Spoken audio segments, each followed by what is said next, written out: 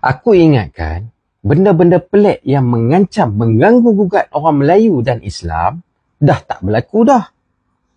Kan kerajaan perpaduan? Tapi aku tengok mungkin hampa dah terlupa kot. No, mai aku nak ingatkan balik. Tu larangan azan. Tahu lepas? Larangan azan di satu kawasan ni yang dikenakan oleh satu JMB. Okey, satu uh, AJK kawasan tu melarang melaungkan azan menggunakan speaker di satu kawasan dalam Penang. Tapi bila benda ni kecoh, benda ni spa, mesyuarat sana sini, mereka minta maaf. Tapi mereka berani. Okey? Tu. Uh, baru-baru ni juga. Tahun lepas juga di Penang. Ada satu kawasan. Beberapa pengerusi masjid dipecat oleh Majlis Agama Islam Pulau Pinang. Pengerusi masjid yang dilantik secara sah melalui mesyuarat agung tahunan daripada AJK-nya sah. Tiba-tiba dipecat. Tu, campur tangan mereka lagi. Lagi, kalau hampa nak tengok. Kalau hampa masih ingat lah. Zakat pun mereka nak tutuh kat mereka juga. Tu zaman 22 bulan hari tu. Sama tak? Sama aja. Tu, zakat. Ada satu timbalan menteri kan menteri tu. Cadangkan. Yang zakat ni kena bagi kat orang bukan Islam juga. Haduh. Lepas tu, ngeh kuham. Pasal nak baru-baru ni juga. Ni zaman lah ni juga zaman Madani. Zaman Madani. Tiba-tiba dia nak jadi salah seorang daripada ahli panel dalam dalam satu hal ehwal agama Islam. Dalam satu badan hal ehwal agama Islam. Dia nak menyebut jadi panel. Dia tu bukan orang Islam. Okey, lepas tu minta maaf. Howard Lee. Suka-suka petik ayat Quran. Tafsir ikut suka kepala bapak dia. Okey? Last sekali, minta maaf. Aku dah sebut satu persatu persatu tadi. Aku ingatkan dah tak berlaku lah ni. Tapi tiba-tiba, ya Allah, benda yang paling luar tabi'inya. Tiba-tiba di Penang juga ada satu surau ni. Tak bagi buat ibadah kurban pula dah. Ha ni yang aku kata. Aku ingat, mereka duk ganggu orang Melayu, ganggu syariat Islam kita. Bila mereka dah kena, uh, kena teguran, mereka dah minta maaf. Ingat mereka dah tak mau buat. Tapi, mereka masih buat. Hampa nampak tak guys? Ni zaman siapa ni yang memerintah lah ni ni? Sama tak macam 22 bulan dulu? Lama dah Tok Guru Haji Hadi. Duk abang. Pentingnya orang Islam yang memegang kuasa. Pentingnya orang Melayu lah. Ni dah kata Malaysia. Majoritinya orang Melayu, Islam. Orang Melayu lah yang pegang kuasa. InsyaAllah takkan jadi mudarat-mudarat yang macam ni. Takkan jadi perkara-perkara luar tabi'i yang macam ni. Sebab tu Tok Guru tekan sangat betapa pentingnya kuasa politik tu. Bukan kita gila kuasa nak jadi PM duk ratib 24 tahun. Tiap-tiap tahun duk ratib tak jadi PM. I have the numbers bunyi pun. Okay? Tapi tiba tapi tiba-tiba bila dah naik, hampes. Tengok tak dia dikawal oleh siapa? Dan Tok Guru juga menekankan kat kita. Memahamkan kita. Dengan kuasa politik orang Islam ni lah.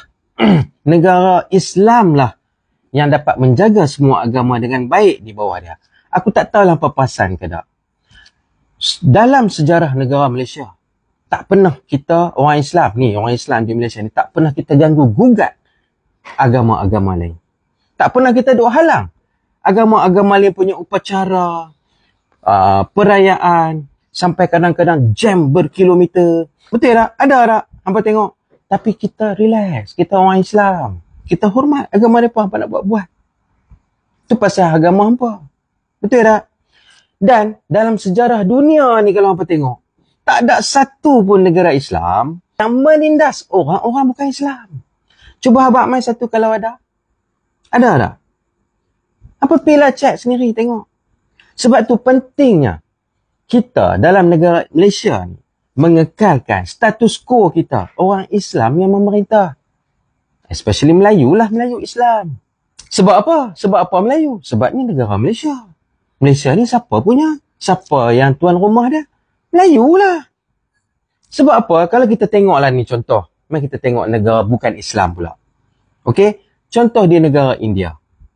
India, siapa majoriti yang memerintah dia? Orang India. Betul tak? Tu China. Tanah besar China tu. Siapa yang memerintah dia? Orang Cina lah. Okey? Jadi, apa tengok dah apa yang berlaku nasib orang Islam yang berlaku di negara-negara yang aku sebut tadi ni? Ha? Uyghur. Orang Muslim di India kena bantai. Macam-macam lah. Tu termasuklah tu Amerika tu yang apa sanjung tu. Amerika, kan? Siapa yang pegang kuasa semua? Orang putih dia juga. Orang dia juga. Orang yang agama Kristian juga.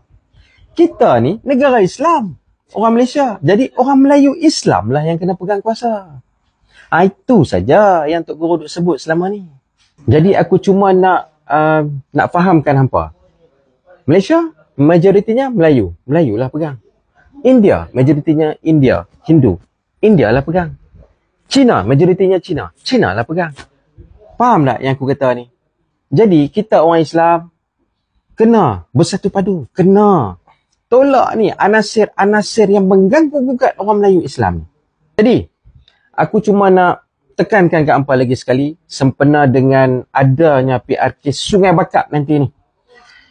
Memang guys, kalau kita menang ke, kita tak ada tukar kerajaan ke apa tu, memang.